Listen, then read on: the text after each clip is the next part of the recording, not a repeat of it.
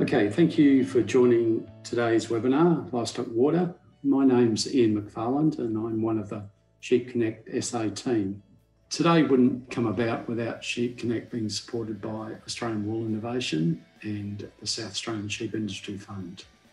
For more information on Sheep Connect, uh, please check out our website or follow us on Twitter at Sheep Connect SA our webinar on livestock water, we've got um, three speakers.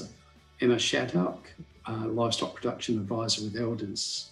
Emma's got um, a number of years' experience working, particularly in the northern half of South Australia, and spends a lot of her time helping sheep and cattle producers improve the health and productivity of their stock, both through individual consultations and as a qualified presenter for a range of national programs, including the likes of Lifetime Ewe Management. Our second speakers will be Andy Chambers from Airborne Logic and Nick Cummings from Atnik Solutions. Um, Andy and Nick will uh, provide a few details on um, their um, businesses and uh, they've got uh, a wide experience in environment, water and sustainable agricultural management. So with that, I'll um, start tonight's webinar and hand it over to Emma. Okay, so firstly, thank you very much for the introduction and the opportunity to present tonight. I'm going to have a bit of a look through some of the factors that affect different um, intakes, I suppose, for particularly sheep um, when we're talking water. So largely looking at quantity and quality. Okay, so firstly, we'll cover how much does a sheep actually need to drink um, and what changes that. And then we'll have a little bit of a look at water quality. What are we really looking for when we're looking at water quality or getting our water tested? And then finally, a little bit around the infrastructure side of it. So, what's some of the better ways to set up our water systems? Okay, so I probably can't drive this message home enough that water really is the thing we should be considering above all else. So it's quite easy to get hung up on certain minerals or something smaller when we're talking about livestock production and managing sheep. Um, when quite often energy and protein should come before that, and then water first and foremost. So, water has the ability to both depress appetite as well as drive feed intake as well. So it's really important that we get that right before we do anything else. Okay, so how much does a sheep actually need to drink? Um, the answer you can see there varies a fair bit, anywhere from two litres a day right through to 12. Um, some of the factors that are going to impact this is anything that's getting pushed a bit harder. So your higher production rates, animals in a feedlot, um, ewes that are lactating and producing a lot of milk, they're going to have your higher water requirements. Weather certainly comes into it. So if we're talking summer versus winter, sheep are going to drink a lot more in summer. It is possible in winter on good green feed that they might get all of their water requirements from the feed alone. Um, but at the very least, they usually drink 40% more in summer than what they would in winter. Um, I've probably touched a little bit on feed quality there. The other thing is, and you see it particularly in a drought, when you're on a high fiber diet, that can also increase water water intake, and at the same time, quite often can decrease how well stock will tolerate salt as well as they're getting weaker if feed is limiting. So there's plenty of things there. If they're walking further, they're going to need more. If they're on salty type feeds like salt bush or really salty supplements, they'll need to drink more as well. So can vary a fair bit depending on the situation. If we are doing water budgeting, it's also important that we account for that extra water that the stock aren't using but is disappearing. So that whether that's kangaroos drinking out of a, uh, out of a trough, um, could be evaporation from dams and open tanks. It might be burst pipes, especially if you're on mains water. So there are also other places water goes when the stock aren't drinking it. So let's have a little bit of a look at quality. Um, above all else, the water needs to be palatable. if it tastes a bit funny, sheep certainly don't drink it or at least won't drink as much. And they are quite sensitive to taste. So we do see this a bit, particularly in feedlot lambs, and they tend to drop grain and bits and pieces in troughs in the feedlot. And that can be just enough that they don't drink quite as much, which then means they often don't eat quite as much either because those high grain diets do heat them up a fair bit. Having cool water is quite important, especially on those hot summer days.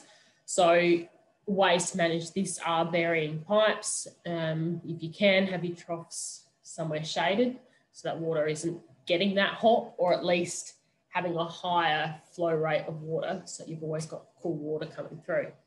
Going back to the palatability, the more often you can clean the troughs, probably the better, depending on the situation, of course. So if you've got some of those classes of stock that are really are drinking a lot of water, it's quite important to keep those troughs as clean as you can we don't want the water to have any funny smells or anything like that that might turn stock away. And ideally, somewhere around that neutral pH.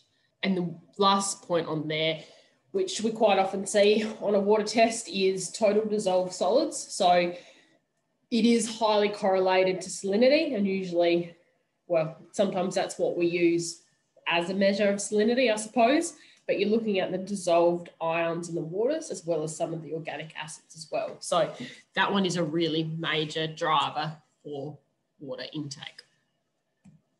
So we'll have a look a bit in a bit more detail. I've put up a range of livestock on here just to sort of highlight the differences, I suppose. Sheep are one of the most tolerant classes of livestock that we routinely deal with, especially compared to things like poultry, uh, which are very sensitive. So can handle that bigger range of salinity. Um, as a rough rule of thumb, anything under 5,000 parts per million, you can usually get away with. Once you start to get over 10, things got, start getting really challenging. Um, and again, the type of sheep will depend a bit on what sort of water you can use. So whereas a dry ewe or a or a wether might be able to handle those high salinity rates. A young weaner that's trying to grow or ewes that are lactating really need the better quality water um, and struggle if they're on anything too salty. So um, for some people, that's a bit of a tool to try and allocate some of the poorer water sources to some of the stock that can handle it a little bit better. So I think I've already mentioned this, but I really want to make this point that salinity is the most important limiting quality factor. It really does drive water intake and then appetite. So, really, animals with a high salinity water will eat less, and you can start getting some scouring. Um, it's essentially salt is acting as a toxin by that point. And you also end up with a uh, loss of microbes from the rumen. So that changes the osmotic pressure in the rumen increases it, which then has a faster or a higher outflow. So you're getting more water passed through the rumen and it washes more of those microbes out. So without them in there, we then, those animals aren't able to convert the feed as well. And you end up with the reduced feed conversion ratio as well. So it really does impact your production a fair bit when you're starting to deal with those higher salt levels. Wild bores are a little more stable surface water can vary a fair bit. So it might be as dams or surface area is evaporating and drying up, you start to notice it getting saltier. Sometimes rains can wash those salts out of rocks and the soils in creeks, and so you get a bit of a fluctuation then. And of course, and probably um, a little better understood in irrigation areas, is the changes in the water tables as well. That can start bringing water up to the surface or water into the water table that you're using to water your stock. What an animal can actually tolerate in terms of salinity will vary, um, not only with that class of stock, like I mentioned before, but certainly the type of feed they're on. So, if they're on a lush green pasture and there's plenty of water in that, they can probably handle a bit saltier water because they won't be drinking as much of it versus dry feed. Um, that hotter weather where they've got higher intakes, they'll be a little more sensitive to it. And in terms of the diet, how much extra salt's in the diet from other sources. So animals grazing saltbush have a lower tolerance for salty water because they're already getting a fair salt intake in their diet. So lots of little things to consider like that when we're trying to work out is that water going to be good enough for those classes of stock. Um, another perhaps more physical component is contamination in the water that we're trying to avoid. So we certainly don't want any um, debris or dead animals rotting away, sheep that got stuck in dams or something like that. You start to release not only toxins and odours and smells, which can turn stock off of water. Um, heavy metals is something to watch out for. Um, which sometimes can come from cropping chemicals, but also the actual cropping chemicals themselves. So dams in areas in cropping paddocks that have been sprayed and things like that, you can end up with some contamination in those dams, and the same from fertilizers as well. Um, probably another point I did want to make is it's not a good idea to reuse chemical containers for stock water. Um, I have seen people have trouble in the past, even with uh, liquid nitrogen fertilizer. Um, reuse that in a feedlot and manage to poison a heap of stock that way, just with the overload of nitrogen. So they are a lot more sensitive, and sometimes just because you can't see it doesn't mean it's not going to be harmful. Um, algae is the last one. So there's a lot of different types of algae. Sometimes it's just a deterrent. So animals are a little less likely to drink, um, and then all the way up to things like blue green algae, which do release toxins, which can cause some severe damage in your dams as well. So, trying to work out ways to reduce that algae growth as and um, of course keep the stock healthy. a little bit on to infrastructure now. I did mention flow rate before. Um, that's really important, especially when you're starting to get to those higher intakes. So, in a feedlot situation, if we can get, we sort of aim for a lower volume of water, but with a higher flow rate, so that there's always cool, clean water coming through, and that helps keep the um, feed intake up on the. In a paddock situation, it also becomes quite important, especially when you have big mobs. So some of those really big mobs on a hot day, they'll come into water in the morning.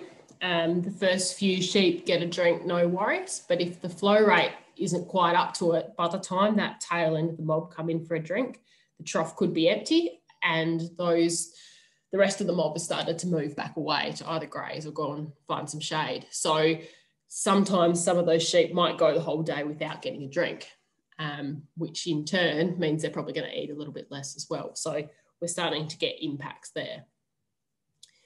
In terms of troughs versus dams, um, probably a really big one with weaners.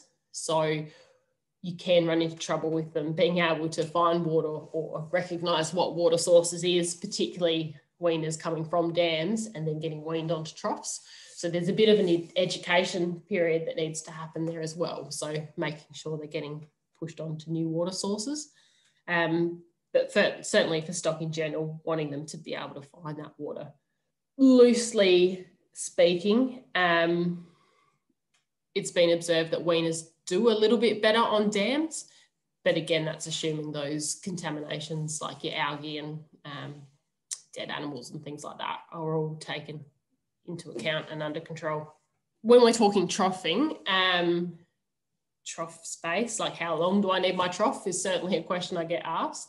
The rough rule of thumb for sheep is about 30 centimetres plus one and a half centimetres ahead and that's with access to one side. So if you've got the trough out in the middle and the sheep can drink from both sides, you can certainly reduce that down. But that seems to be about the sweet spot where you've got enough room for enough of the mob to come up and have a drink at a time when you need them to.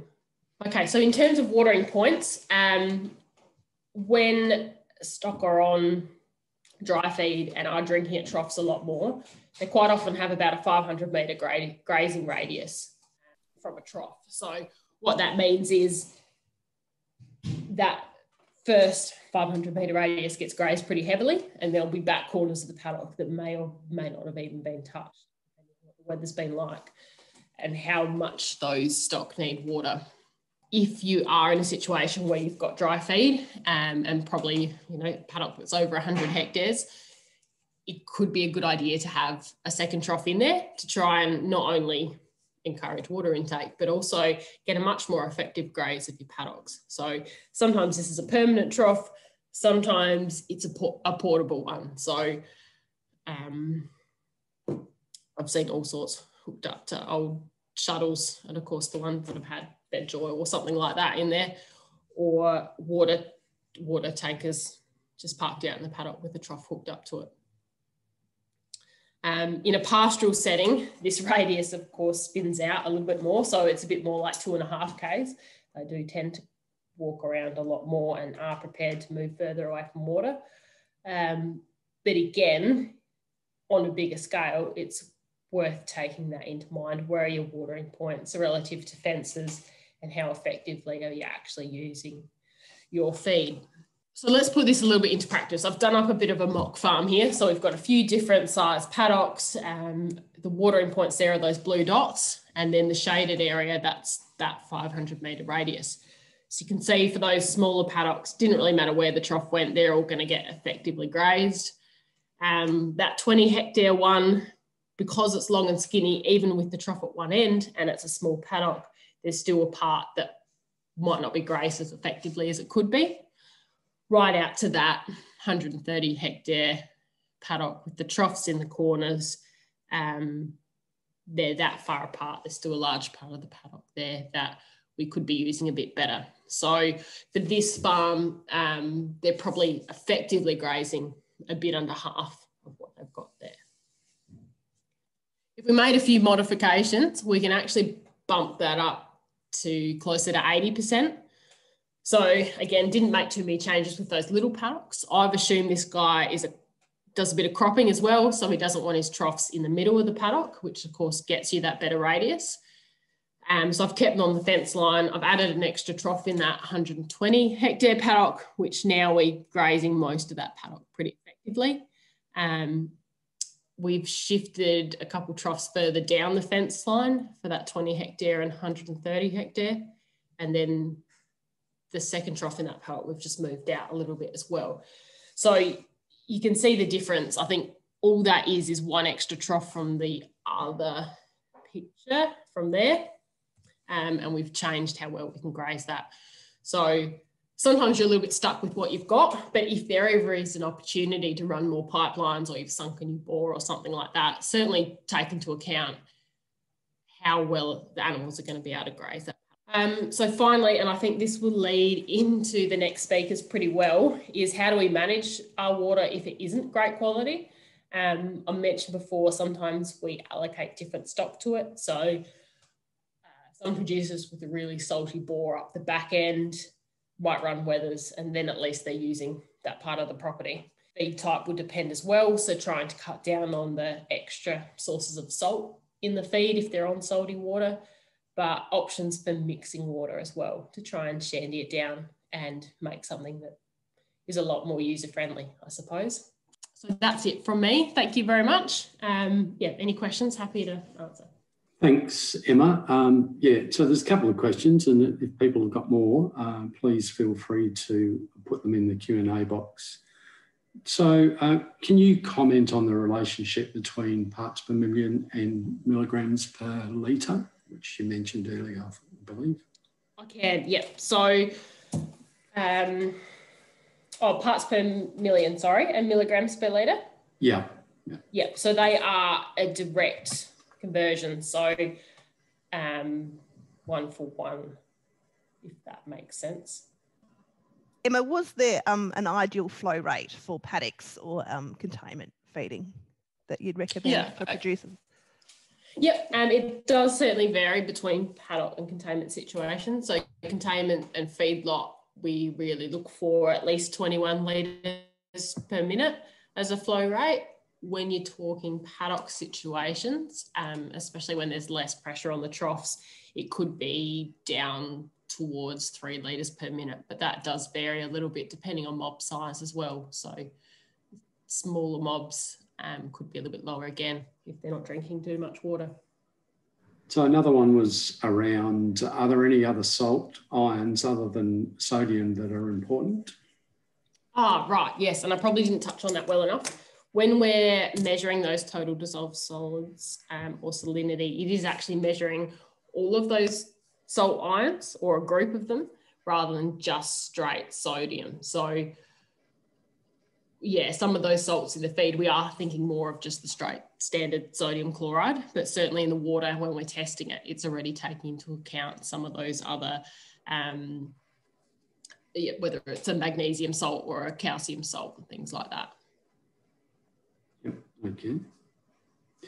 Um, are there any um, recommended treatments for algae in a dam? Yeah, good question. Um, there are, and it does vary a bit. So some people have spread out hay or straw on the top of the water to try and suppress algae growth, which is quite a slow solution. Um, there's additives, just thinking what they're called now, Coppertrol and something else that are specifically designed to kill algae. Anytime you're doing treatments like that, though, you do need to remove the stock from the water because as the algae breaks down, if it's something like blue-green algae, it will release toxins into the water. Um, for trough situations, your trough blocks are usually um, copper sulfate or something like that. Just need to be a little bit careful of applications. Probably not so bad as a trough block in a trough, but when you're adding copper to dams and things like that, sheep are really sensitive to it. So if you put a bit too much in there, you do run the risk of killing a few sheep, which isn't an ideal situation. Okay, thanks. Um, a question around where can you get water tested and any idea what it might cost? Uh, yep, yep. So depending what you want to test for, the costs do vary. A straight water test itself, uh, goodness, if any other speakers can think, they let me know, but I think it might be around that. 60 $80. Um, there's a testing authority in Adelaide that will do it. Um, and that will be more your standard pH salinity levels. And then for other tests like your algae types and things like that, um, same lab, but yeah, different costs associated with some of those more specific tests. Okay, um, someone was uh, wondering whether you could um, talk about drainage around troughs for sheep feet issues. Oh, yeah, sure. Yep. And certainly something we really um, look at when we're setting up feedlots and confinement yards is making sure the water's draining out from the yards. Having a bit of a pad or having that trough somewhere up a bit higher that they're not standing in mud is certainly going to help. Um, there's a lot of those like foot abscess and things like that that are bacterial born, which can happen from having sheep standing in wet, muddy conditions. So I guess have it on a little bit of a slope or have a bit of a pattern so the trough, the water from the trough actually drains away from the trough rather than pooling around it is certainly going to help with some of that as well. Okay. Thanks, Emma. Um, I think it's a bit that's about all the questions for the time being. So if you do think of something, please put it in the Q&A and we'll fire it back to uh, Emma uh, at the end of the, uh, the webinar. So at this point, I'd just like to uh, hand it over to Andy and uh, Nick, um, who will be talking about um, water blending in particular. So all yours, uh, Andy. You can share your screen, please. Thank you, Ian, and good evening, everybody. Great to be here and having a chat in particular about uh, what we can do when we have differences in water qualities and, in particular, perhaps sources that are particularly uh, salty and um, other sources of water that might be quite good, uh, and whether there's a smart way to blend that water to get the best outcome. So, uh, we'll just give you a little bit of background on who we are. So I'm Andy Chambers, um, the Managing Director at Airborne Logic, and I've got uh, Nick Cumming with me from Waterwise Automation. Say good day, Nick. Yeah, good evening, everyone. Nick Cumming here. Thanks for joining us. And what we're going to go through is uh, essentially uh, talking about uh, a, a, combined project that Nick and I did for the Coorong Tatiara LAP uh, group around the Coorong, where we we're dealing with very, very salty underground wedge hole water uh, and very expensive but good quality mains water. And so, in an attempt to try and reduce some of the costs around, in particular, the mains water, we trialled some smart integration of technology and uh, also I guess, internet type services to see whether we could actually effectively blend those sources of water and come up with a consistent water quality for uh, for stock water. So we'll talk a little bit more about that uh, shortly. Um, why did we sort of end up as being somewhat experts in this area? Um, well, I've got myself 30 odd years uh, of experience in water resource management and sustainability, uh, particularly uh, in rural areas.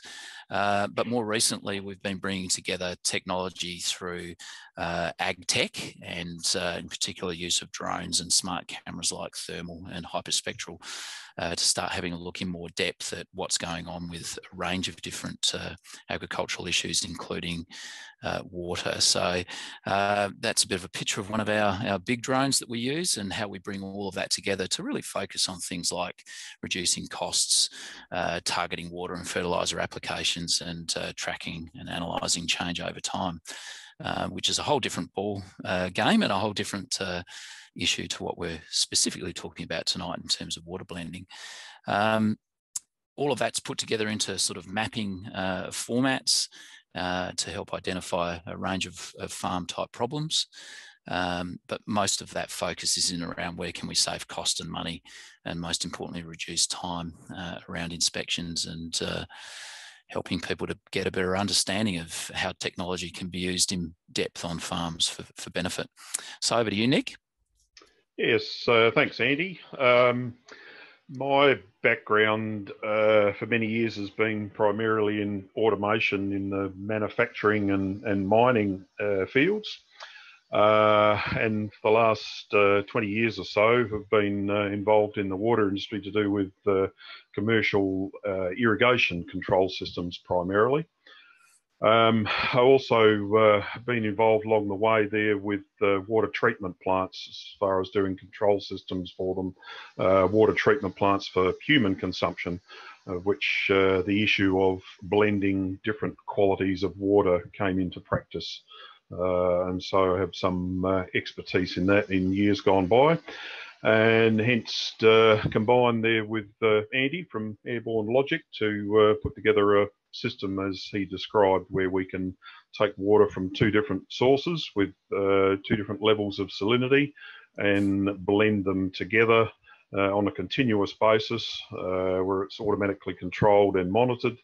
Uh, to produce a desired result, which is is monitored and measured and uh, uh, able to be set to a preset value by the by the operator, by the by the landowner. So uh, and hence this project came about uh, to uh, do the blending down in the water down in the Coorong. So. Thanks, Nick. So, uh, just by way of a little bit of background and acknowledgement that uh, the project down at uh, the Coorong with the Coorong Tatiara Local Action Plan Group was funded through state government as well, and really was trying to focus on the fact that we had some pretty salty water. Uh, I forget the salinities now, Nick, but I think we were sort of well over 12. around the, yeah, yeah it was up to 12, 15, uh, 12 13,000 parts per million yeah. or something, wasn't it? So, yeah, yeah, so getting pretty salty and well above those levels that Emma's described as being palatable for stock. Um, the other side of the coin was the fact that we were dealing with, at that time, very, very expensive SA mains water. So some of the landholders down there were dealing with $3.50 a kilolitre at that stage. And in some cases, for the particular cattle properties involved, upwards of $100,000 in water costs for stock water, which was a real battle in terms of making ends meet. So the thought was could we get in and somehow automate uh, a blending of those two sources of water so that first of all we were harnessing and utilizing the readily available quite shallow uh, water table saline water. But being able to blend that automatically with the infeed from the SA water mains to give us an overall better uh, quality product. Well, not better than the mains water, of course, but better than the salty water uh, and reduce significantly some of the cost. So we got our heads together and uh, came up with a design that essentially looked at um, really bringing together a salinity probe, which is uh, the yellow uh, device you can see on the left of that image, and uh, an automatic valve uh, being the blue uh, gate valve installed into the pipework here, bringing those two sources into a central tank. and then enabling distribution from that tank. Um, Nick can talk a little bit more about some of the automation equipment that we're looking at here uh, that was controlling uh, that process. Yeah, so certainly, so this was uh, out in an area away from uh, any available power, so it's obviously uh, solar powered. Uh, the whole unit there, as you can see by the panels, it's using off-the-shelf equipment, PLCs in that cabinet there uh, which is standard, uh, you know, automation type equipment readily available, but it's been designed around doing this specific job. Uh, and in this case, we also uh, put in a 4G modem, which is visible in the box there, so that uh, we could monitor that from a remote location and uh, and track all the how the process was was going each day. So the the touch screen there that's on the current slide uh, enables the uh, user to set whatever uh, EC uh, level he requires, the finished water.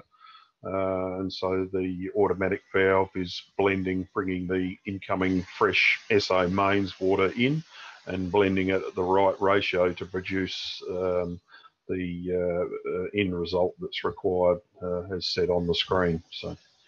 Uh, that's all tracked in the system to to know uh, you know what quantity of water is flowing through there if that's required. Um, certainly, you know, can incorporate flow meters in there and flow quantity and everything. So, uh, which is obviously an important aspect to know what quantity of water is using as well as the uh, quality of the water. So, this can be monitored on a continuous basis uh, to ensure the system is working correctly. Um, and uh, obviously it becomes an issue. Uh, in this particular case, there was uh, two different solar-powered uh, wedge holes that had solar-powered pumps set up in them uh, that obviously only worked during the day, whereas the SA water was available 24 hours a day.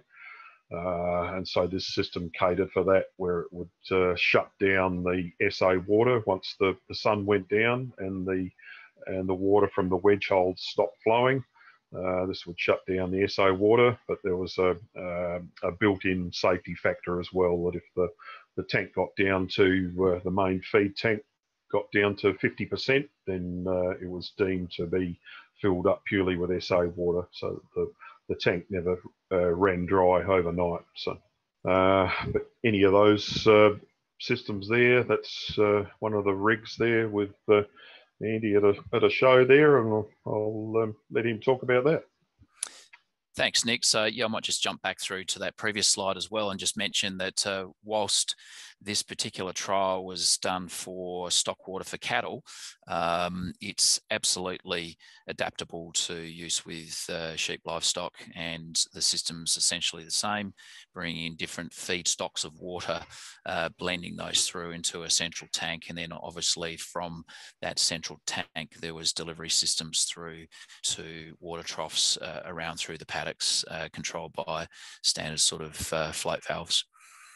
Um, so we did a bit of a traveling roadshow uh, to give people an indication of what the sort of size and equipment uh, uh, and ability of that uh, type of kit was. So it's always important to get a bit of a feel of what the footprint was like for that.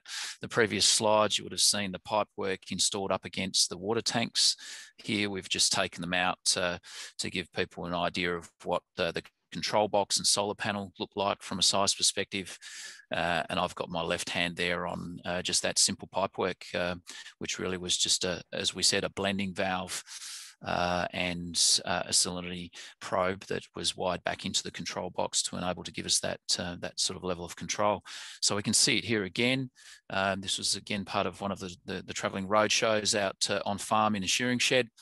And you can see again both valves there pretty easily installed on fairly standard irrigation type equipment um, and the control box uh, and solar panel.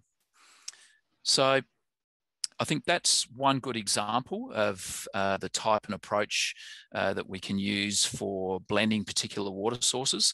I think it's probably just also worth mentioning a little bit uh, before we hop into this next little part of the, the presentation to talk about other technologies as well. Um, obviously, in the case where there is only one source of water available, uh, and that happens to be particularly salty, uh, then that type of blending approach that we've just described probably isn't going to be fit for purpose. It may be that you're looking more for perhaps a desal uh, type uh, uh, solution, which may come along with the need to store water, uh, wastewater, and so forth. That's not the main intent of tonight's presentation, and there's a range of no, other things I, I guess, talk about. Um, Andy, just to interrupt there, um, yep. you know, if, if there has been a, a desal plant installed, then if it isn't already, there is possibly a need to be blending that desal water back with the, some of the raw salty water because uh, you don't want to be sort of feeding cattle with pure desalinated water. So rather uh, cost ineffective. So uh, that was my original um, part of the control system with water for human consumption. We didn't actually want to uh, feed very uh, low EC water out into a you know domestic pipe system uh, because it's not good to drink pure desalinated water and it certainly does damage to uh, pipes and valves and everything else. So we were actually blending the salt water intentionally back in with the RO water to produce it at the correct uh, re uh, required salt content before it was distributed out into the township. So. So the same may apply if a desal unit is put in for uh, stock watering. So. Thanks, Nick. Yeah, excellent point. Uh, and thanks for raising that. Absolutely. And I think we're just going to touch on some of those blending type solutions um, in other water supply type scenarios shortly. Um, one of the other technology features here, obviously, that uh, can come into play significantly is uh, water loss. Emma touched on that uh, in relation to leaks and so forth. Uh, some of what we covered in the same project uh, on the Coorong was using thermal imagery to have a look at uh, apparent leaks in pipes underground. Uh, and that's an example in the center of that image where it was very evident that uh, through temperature that there was in fact a leak occurring on the ground that had been set up for that particular field day, uh, but was evident that uh, the thermal camera was able to pick it up. Um, so subsidiary type of technologies that can complement what we've been talking about uh, previously.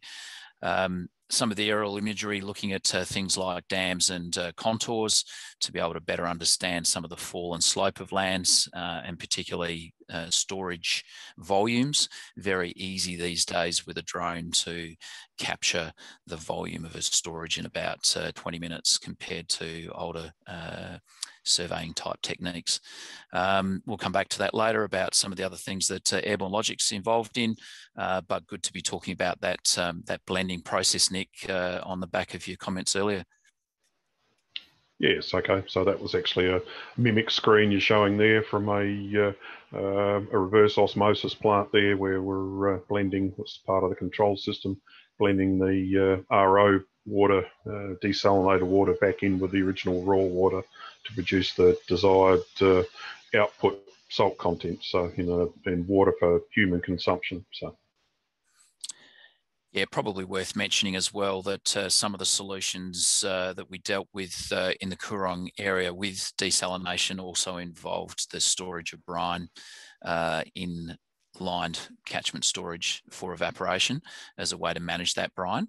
Um, that's a whole different uh, kettle of fish that we won't perhaps touch on too much more tonight, but uh, requirements uh, around EPA management of highly saline brine and so forth, where there's difficulties in, in with disposal, uh, be an issue to deal with as well. Uh, Nick here, I think again, another good example, some of your desal kit.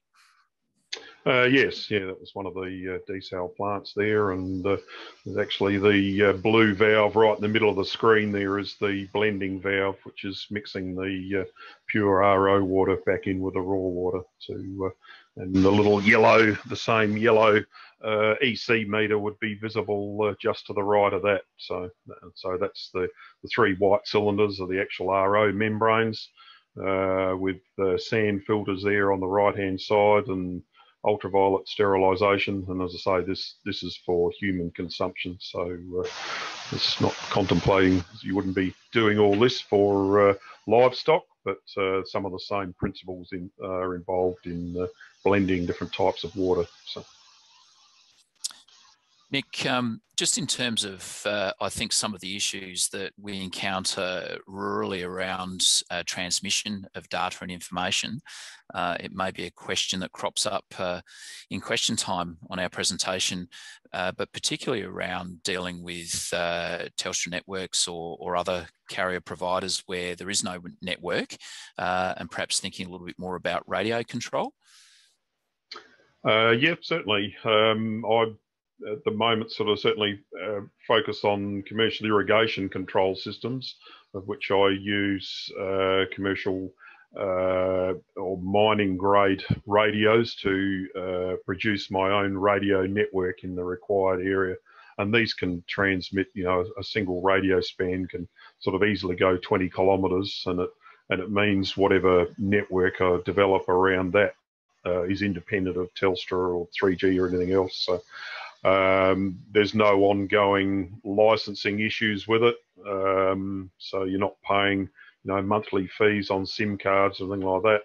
Um, and this is actually one of the this particular town up in Queensland had four bore pumps that were feeding the main uh, desalination plant. So uh, there's actually this is one of the control panels, one of the bore pumps, and so that's uh, being fed back to the master control unit through a radio there, which is sitting on the right hand side of that cabinet. So uh, I use that same uh, radio technology, as I say, for irrigation control, and uh, it could be used in uh, you know stock watering situations if you're wanting to know flow rates and salinities and trough levels and anything else to do with that remotely out out in a one of the paddocks somewhere. So. Fantastic. Thanks, Nick. Um, Ian, I think that's probably the majority of what we wanted to try and get across um, around the particular salinity blending uh, type approaches that we've had some experience around of late. I think there's a whole range of other stuff out there around uh, desal and fit for purpose uh, type solutions and so forth, but perhaps some of those uh, might come up in, in questions and we can answer uh, in a way that's going to be meaningful for everyone as well. Okay, thanks, Andy. Thanks, Nick. Um, yeah, just a couple of points of clarification. Uh, Nick, you mentioned PLC. Uh, PLC is a standard term meaning programmable logic controller. So it's basically a, a small computer that's uh, industrially hardened. It's a I'll call a little black box that has wires going in and wires going out, and the programmer develops some piece of software in the middle to do a specific job. So you can buy these things readily off the shelf, and uh, every pump station and uh, electrical control stations, every, everything around uh, anything to do with mining, industry, uh, manufacturing would all uh, exclusively use PLCs of one type or another to do their automation and control. So. Okay, thanks, Nick. Um, um, another point of clarification was again, um, we had a millisiemens um, figure there. So Emma talked about parts per million and milligrams per litre, and we um, were also then given uh, millisiemens. So just sort of wondering whether you could just clarify um, how that relates to the other two. Uh, yes, Andy, I think you looked up the exact figure yes, on that. We talked about this um, this afternoon. we it? did. So essentially, uh, we have a measurement called electrical conductivity. You'll often see that presented as decisiemens or microsiemens, really just uh, uh, a factor multiplication essentially. The key being is that uh, EC or electrical conductivity is of value substantially more than parts per million or milligrams per litre. It, it is roughly a 0.7 conversion or thereabouts. Uh, so I think at that uh, 5,000 uh, rate for milligrams per litre, we were up at uh, closer to sort of 6,000, weren't we, EC? Yes, yes, that's right. And the reason we're using that, the electrical conductivity, is because that's what the actual sensors that we're using measure. They're not doing a scientific analysis and working out the parts per million. They are purely measuring the electrical conductivity of the water. Uh, and, you know, predominantly if you're trying to control for salt content, then it's going to be the, the sodium chloride that you know predominantly you're uh, controlling for or measuring, I suppose. So, hence using that, bringing that uh, uh, unit into play there as, as microsiemens for electrical conductivity. Okay, thank you for that. Um, now, a question around Coorong lap trial. Any idea what the target salinity was? Yes, we did. Have, uh, yeah, yep, we had that on one of those screens, I think, didn't we? Yeah, I think we had it 3,500 yep. microsiemens. So. Yep. Um, and is it possible to give a, a, bit of an indication of the uh, the cost of um, that system? Yeah, overall, I think we were in the 15,000 uh, range for that full system, but it was constructed specifically for uh, that project, uh, essentially trying to buy everything individually off the shelf. And the feeling is that there'd be substantial savings on that in into a, uh, a wider commercial production uh, outcome uh, at scale. Um, so you wouldn't expect it to be as as expensive as that uh, to to roll out on farm, depending on the on the needs it was particularly scaled, I might add as well, to uh, look at the problem at hand with that particular trial property being uh, water costs upwards of $100,000, as I mentioned, uh, from an SA water perspective. Um, so we, we were really trying to match in with that uh, savings that would be significant enough to make it a, an attractive buyback uh, over a period of time as well. So uh, as always with business cases, we'd be trying to chase something in the order of three years payback. And there was a question around was the eight hour, hours enough to blend the water?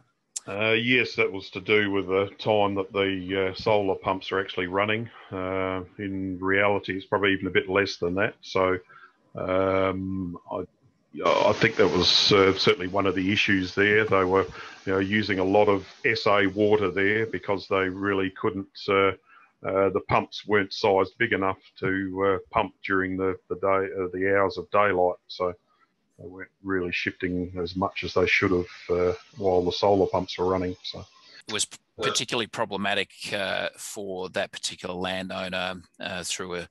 this is two summers ago when we were hitting 45s, and um, that that was difficult during that time period to make sure that uh, the flows all round were keeping up uh, across the property. And I think there was definitely a need to look at uh, some additional pressures and flows from the SA Water uh, perspective as well. So it's probably worth mentioning some of the basic information that's needed at the property scale level before entering into these type of arrangements. And that is definitely to have a really good understanding of what your pressures and flows are like from individual sources of water so that they can be matched alongside of the type of equipment uh, and needs for daily flow rates. Okay, thanks for that, Andy. Um, just, you know, I had one that came through to me oh, on text. Um, sorry, it's Jodie here. Um, Andy, someone's starting out with a um, shandying operation. Where do you suggest they start? I guess um, you've got a few key pointers for someone starting in this journey.